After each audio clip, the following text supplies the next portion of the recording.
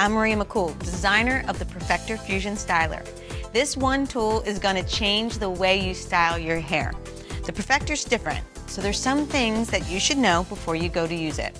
The first time you go to use your Perfecter, you'll notice that there's actually a protective cover on the outlet plug. So remove this before you go to plug in your Perfecter. Now, also remember, this is an electrical appliance, so never use your Perfecter near water. The Perfecter has two heat settings. Low, which is 356 degrees, which is for hair that's fine, thin, sensitive, or highly chemically treated. And high, which is 392 degrees, and that's if your hair's thick, heavy, extra curly, or even resistant to curl.